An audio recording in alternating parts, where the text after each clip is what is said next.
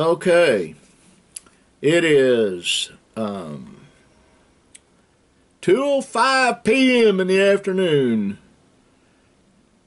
February 13th, 2021. Ah, Linda, Aurora, and I just got back. We went to uh, Walmart. And uh, it was really uber crowded there. I got my stuff done, went and got in the car and sat. Fortunately, it was in her nice car, not her green bomb.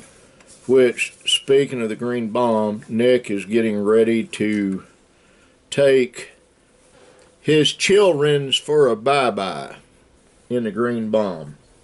Me, I'm going to uh, sit here, do this vlog, and then do a radio show and be done with all that probably until Tuesday.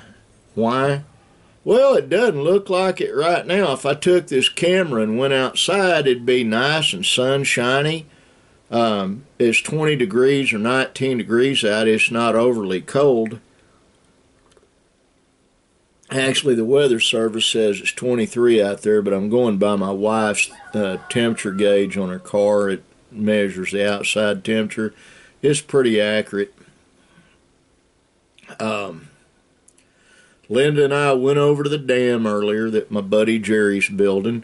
Water was coming out of the pipe from underneath, but the top of the the water was frozen in the area that's going to be the lake. It's covered in white where it iced over. Um, the streets aren't bad at all. There is some places where there's ice, but it's not hazardous.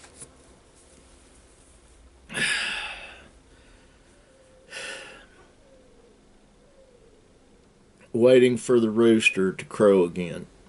I can't do anything in here without one of them interrupting. They they take pleasure in causing me aggravation. I absolutely believe this to be true. I believe the poultry yard through that wall right there has a bunch of spies. They spy on me all the time, and I'm not paranoid. I just understand poultry. You do realize that they're the descendants, according to paleontologists, the modern day chicken is a descendant of a velociraptor. You ever look in the eye of a chicken? There ain't nobody home. And there's a duck over there doing something, I think, doing a dust bath or whatever. One thing about them, though, most of them were in that chicken coop through that wall right there this morning. I don't know if you can hear that. I don't know exactly what they're doing. Probably a dust bath, but you hear like that. Um,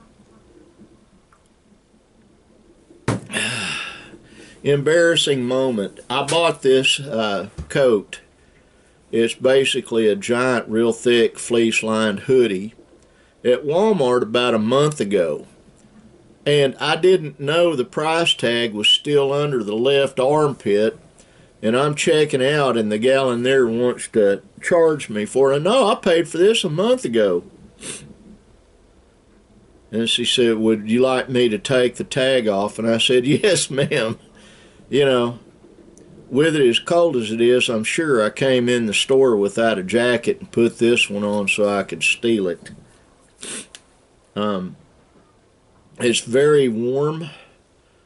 I have another one like this that I got years ago that's brown. It it wasn't green, and uh, I'm gonna need this thing later tonight, tomorrow, and Monday because we're supposed to get um, 14 to 18, 8 to 14 inches of snow or something like that. I don't know. It hasn't made its way down here. There were a few little light fluff, uh, fluffy snowflakes yesterday, some this morning. Um, right now, it's fine.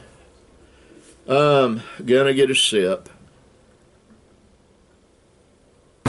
Oh. That's it. Mom, John, I love you. Everybody else watching this, I love you. Michael, Paul, I love you. I hope y'all are doing well. Um,